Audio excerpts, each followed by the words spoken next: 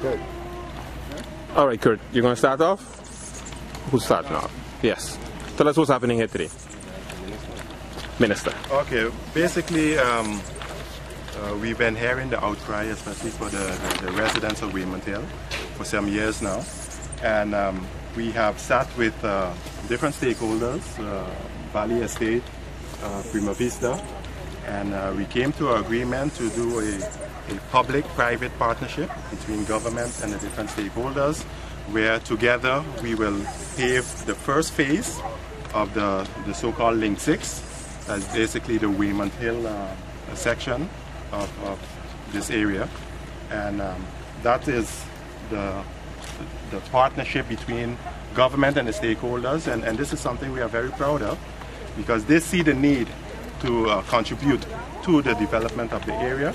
And government, which is uh, have uh, certain uh, strains with the budget and so forth, looking at possibilities to partner with other stakeholders to improve the infrastructure of the island, and this is one such way.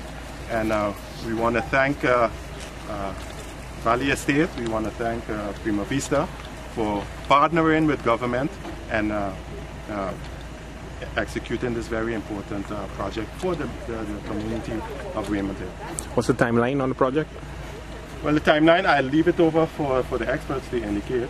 Well, the plan was to start within this in a few weeks. Eh? Yeah. So, uh, by the end of the month, uh, early October, we should be uh, should be started. Okay, uh, but Minister, you said first phase, so can we expect? Well, um, what is happening?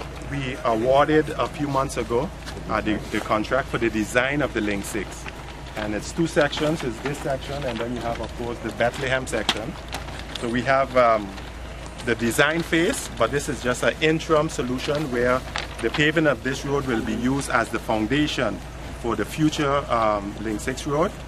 But um, before the design phase and everything is finalized, we could be a year further or whatever. So in the interim, um, this is a, a, the first phase. A, a, first phase, a solution to, to relieve the situation. Because with the heavy rainfall and thing, the money we just spend excavating the road, fixing the road and thing is best we um, you know, put the money to, to good use. We would like to thank, of course, government and our other partners here at Valley State because um, I am also a person that I live up here.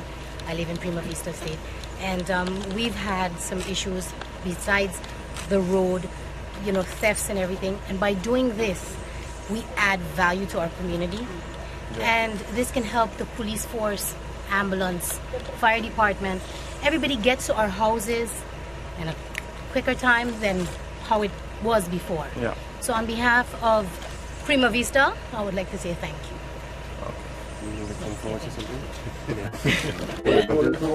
The Weymouth Hill Association? As a representative too. Oh, okay, well. I want to say something. Um, oh, yes, go ahead. As a representative of the people of St. Martin, and especially listening to the cries of the community and looking at you have a very good community police officer too look, looking at the safety aspect of all residents in the area not only from the fire department you're looking at the ambulance and all of those areas and the first thing they always said they need a, a good road for them to, to get to the to the residents and this is a, a project which started way back as the former minister of Vromi which he listened to the cries of the community that came. The first meeting in my office was like, you know, at that time, Minister, we need to upgrade the road here, Weymouth Hill. And I'll be honest with you, and then thanks for the Minister listening now to the people, and especially creating an opportunity where you have all stakeholders. Thanks to ICE, you have the, the Curtis family, but don't forget also you have the Hodge and also the, the Gibbs family because at the, at the entrance, they're the ones also they have to be part of it. So you can see it's a whole community effort where we're looking at the general interest of the community. And, you know, this is not something happened, like I say, you know, it's because of, of, of politics, but something for the, for the people of, of uh, Hill and the residents of, um, let's say, from South Ward to St. Peter's and all of that. So, you know, this is a big day, and I have to say, on behalf of the people, uh, as a representative, it's good to see that the minister really put this into action. I thank you.